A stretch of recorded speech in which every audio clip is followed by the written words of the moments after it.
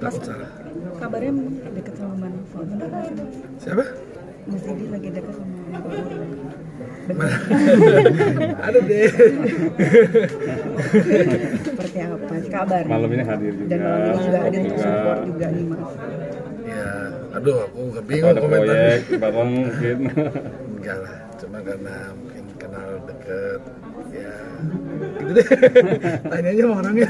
Tapi kenapa sendiri memberi support ya sih buat eh, video klip Pancasila ini? support Mas Alam Urbahnya juga support Eh, makanya ada Selena kan?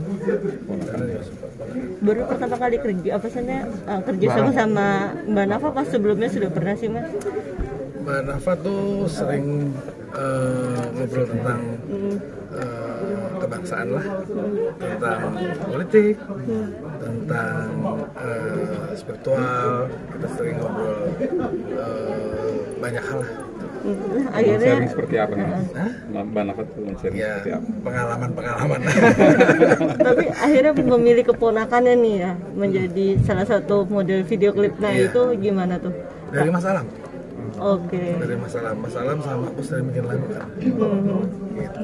Mas, Mbak Nafa sendiri memang orangnya seperti apa sih dipandang mata dari Mas Didi sendiri? Wah, wah biasa ya, Mbak Nafa tuh eh, penuh pengalaman, ada apa ya, eh personalitinya unik, percaya dirinya tinggi, dan yang paling penting eh, dia punya sifat eh, kebangsaan, benar-benar eh, banyak memikirkan rakyat bawah. Mas ketika punya visi dan pandangan yang sama dengan Mbak Nafa, akan ada proyek bareng kan? Satu titik yang memang sama-sama dituju. Eh, saya sih pengennya ada, tapi belum tentu Mbak Nafanya mau kan. Belum tentu mau. Tapi udah sempat ada obrolan atau wacana seperti itu. Belum sih, belum ada. Masih ngomongin yang tadi aja kalau yang berhubungan dengan musik atau eh, yang lain belum. Masih tukar pikiran masalah wawasan aja.